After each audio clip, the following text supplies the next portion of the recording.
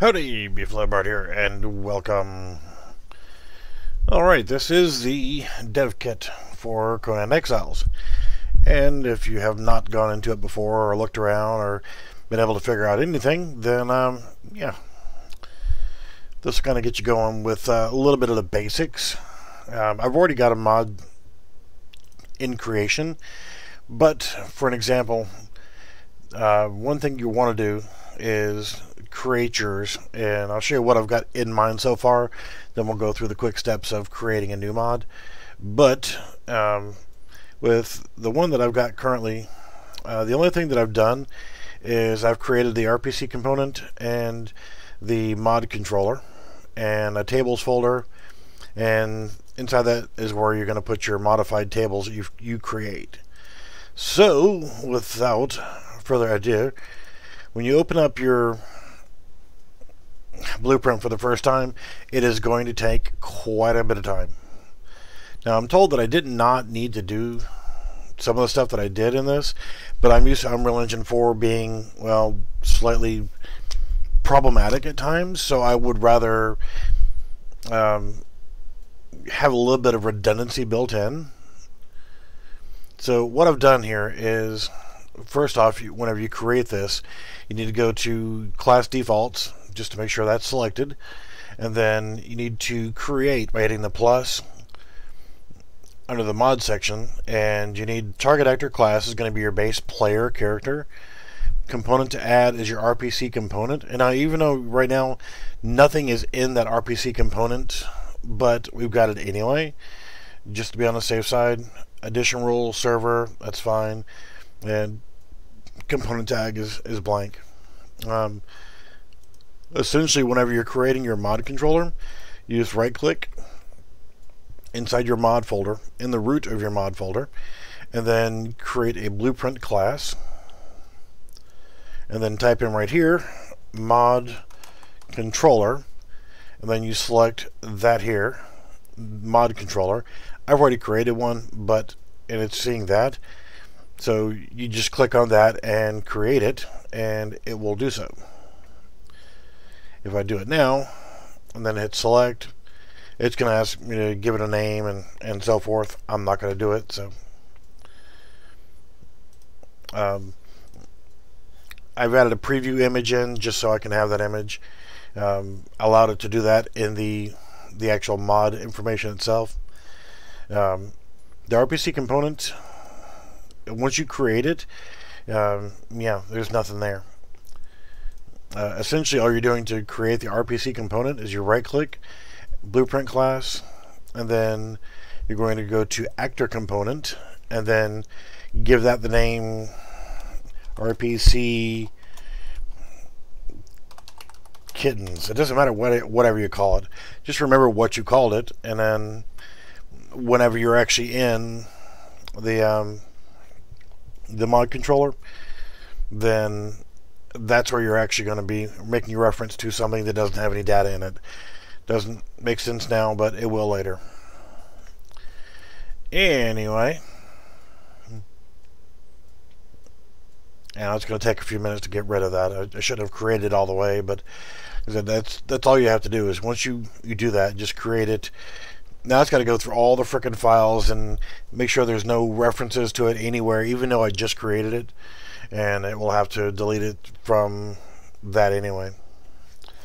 So as soon as it gets done, we'll suffer through the the load times. And I apologize for making you sit here and watch nothing on the screen, but this is all part of what you end up doing. So for right now, I've got this mod set up to do what I want it to do.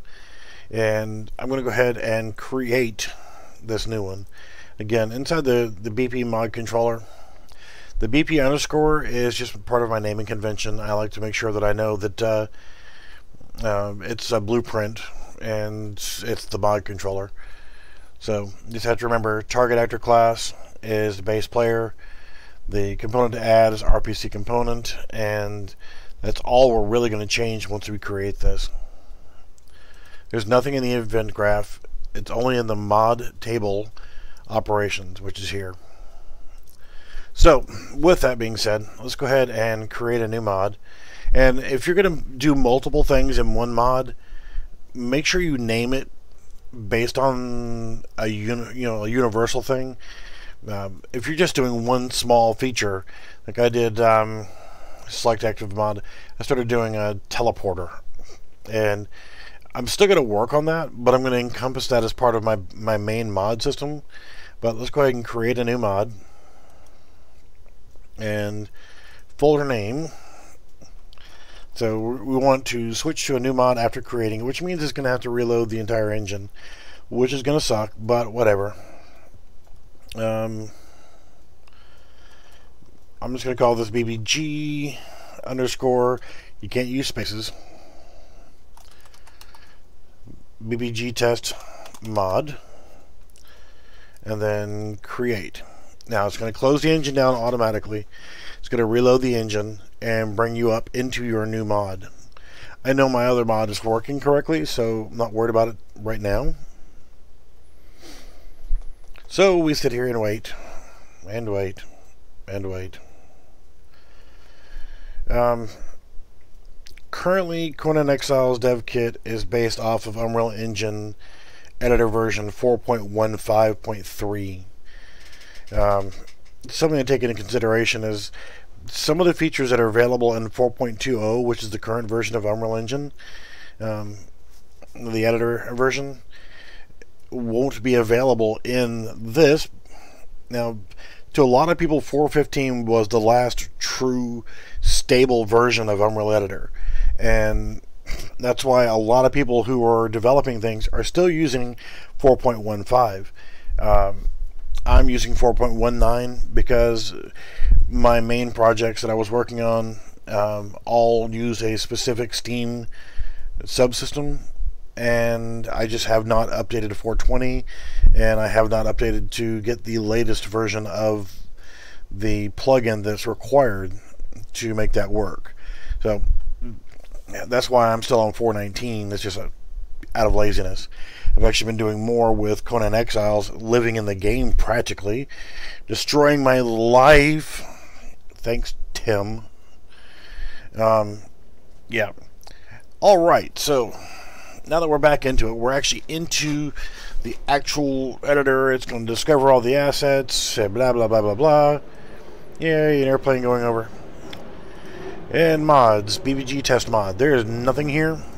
I'm going to go ahead and create a new folder called tables because I'm going to need that there. I'm going to go ahead and add in a blueprint class, actor component, RPC, BBG. That's just what I'm going to call it. Lovely. I'm not putting anything in it, but next what I'm going to do is blueprint class, and I'm going to do right here under search, I'm going to type in mod and start typing it in and it comes out right there mod controller select and we're going to call this um, BP underscore mod controller alright now I'm going to hit save all and then I'm going to go ahead and open this it's going to take a while to open the very first time after that, every time you open it, it will just snap right up. But as you can see, it is a long, tedious process of waiting for this thing to load. And unfortunately, we just have to deal with it. But we want to go ahead and get this done first and suffer through getting into this file so we can go ahead and set up the basis of what we're doing. Um, come on. Come on. It's like watching paint dry. I mean, seriously. This thing takes forever to, to, to load up the very first time. And it's a blueprint thing. I, it's not like this in any of the projects that I work on in Unreal Engine 4 and 419 or 418 or 417 you know the versions that I've used I've never had this problem of it sitting here and taking this long to open a blueprint even with blueprints that are really vastly huge. And some of these aren't. I mean this one right here is empty. We haven't got anything in it whatsoever and it's still taking this long to to load up for the very first time. Mean, we could put a whole bunch of stuff in there, close it, and then open it right back up, and bang, it'll pop right open. But for some reason, this is just, you know, why? Because Unreal Engine. Why? Because UE4. So we'll just sit here and waste time, drum our fingers on the table, stare at an empty coffee cup, and yeah. Any day now. So while while we're waiting on it, um, when you're creating your first mod, it's okay to be ambitious. Like, oh, I want to do this. Well, take small steps. You really need to learn how to crawl before you can walk, and then walk before you can jog, and then jog before you can run. Because, well, we all know what it's like for, you know, getting in here and like great ambitions and saying, I want this to work. And then you don't know what you're doing. And it happens all the time. A lot of um, new mod developers or game developers, they get into Unreal Engine 4 or they get into this mod toolkit, which is 150 gigabyte download. Um, after suffering through that download, uh, you finally get into it and then you realize you have no clue what the hell you're looking at. And you get discouraged and you just close the thing and, and never go back into it ever again. Well, that's that's fine. If you want to give up, go right ahead. This isn't for everybody, but if you've got the the intestinal fortitude, um, you've, if you've got the the courage to stick it out, you can do a lot of really cool things. And, and that's the thing is getting over well first off get over yourself. I know it sounds terrible but you got to get over yourself first. Oh we're making progress. No it's not locked up. It just takes this long. Alright so now that we've got it open I'm going to drag it up here so it locks it to the um, the, the bar. And now we need to go over to mods additional class components hit the plus key target actor class um, player we want the base player character component to add. I made mine simple. I put BBG in it but RPC the one that we created and that's pretty much it. Compile and save. That's just to get started and then we'll save it. Because mod table has nothing in it the options of what you have to work with if you just right click over here, you have clear data table, merge data table, remove data table rows, and make array. Now, in the other example, what I was doing was um, I actually did some redundancy, and the one that I was working on was the the map table. So what I ended up doing was I did remove data table rows, okay, and I linked it together here and then from row IDs, well, first off, target data table. And I did it out of two, but we'll just do one as an example, and then I'll delete it. But we want it to be from the uh, the item. So we want it to be item table right here. And then what we want to do is drag off from here, and we're going to get rid of by saying make array and we want the row ID for the row that we're wanting to get rid of, which is 90,000, which was the map room. And that's just because that's what I was working on before. And I have to create a new table now, which I'm going to go ahead and, and, delete this. We'll remake that here in just a minute. Um, what you you're going to have to figure out what what it is you're going to do. In my example, what I did was I created um, a modified recipe for something. And if you're just doing a modified recipe, you have to take into account two different things. When you look at the item itself, um, we go to the item table right here. And this is a data table. And as you look, you're going to have the item number, and it starts at 10,001. Not sure why, but okay, cool, that's fine. Um, the name, stone, roughly hewn chunk of stone, gives your basic description and so forth. But let's look at it down here. This information here is all down here. name, roughly hewn chunk of stone, blah, blah, blah, blah, blah. We know that it's a game item. Building class is none, just a lootable pickup item. Um, the visual object, Rock 1, is a generic. It's what you use for pretty much everything. Action Blueprint Use. Okay, nice naming convention there, but none on that. Maximum stack size is 100. Well, what if you want to make it to where you want to carry a thousand eh, of the stone? Well, this is where you're going to end up having to go to, if you're, you're building a stack size, you have to go through every single solitary item because you have to edit the row and not the, the column itself. So you would come in here, if you want to change the stack size, then you can, I wouldn't change this one right here. Don't mess with the original item tables. So that will be where you'd go for that. The equip location, not sure on those just yet. Um, the GUI category is what it's going to be. It's a material. If you look at your drop down, it could be weapon, armor, consumable, material, building item, category count, whatever. You got those to work with. Um, visual static mesh. I'm not seeing a whole lot of use of these. Um, container size, item flags can be looted is a common one. Uh, weapon types and so forth. But the the first example of what I want to do here is I want to create a, a super weapon, a super sword, um, and we'll do that and we'll test that.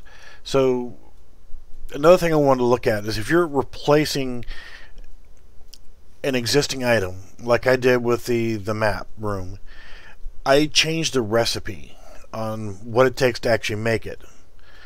Well, you're going to also have to modify your item table because if you only need wood and stone to make something, then you're going to need those two items to repair it.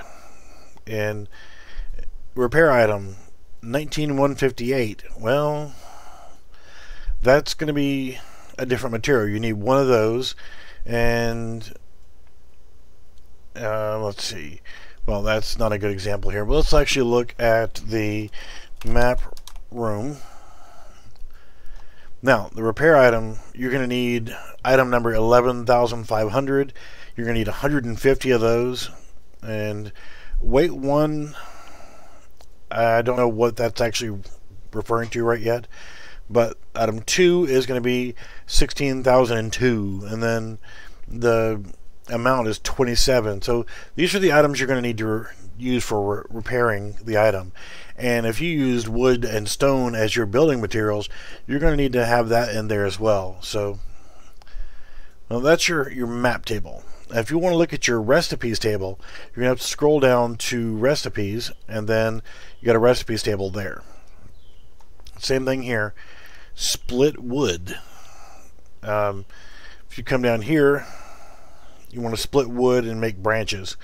Okay, cool um, you have the ingredients ingredient one where you're you're just doing the, the wood which is 1011 and you're splitting one and you're creating 100,012 or 10,012 which is the split wood you're creating this item by your result ID and you're getting two of them.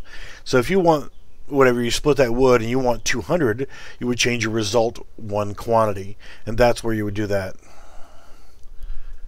So let's actually go back over here and let's create our super weapon. Okay. Um, let's look at our weapons list. And let's see let's go with a one-handed sword. Now, as we look at the one-handed sword in that particular box, there's a bunch to choose from. We want the basic. We got a Death Knight sword. Hmm, sounds cool. So before we actually get crazy in here, um, we need to figure out which weapon we're going to use. One hand sword, you know. These, the kind of aqua blue color, that is a static mesh. Now, the pinkish color right here, that is a destructible mesh. This will come in handy later when you're doing modeling and stuff. Um, oh, we can use a arm as a sword.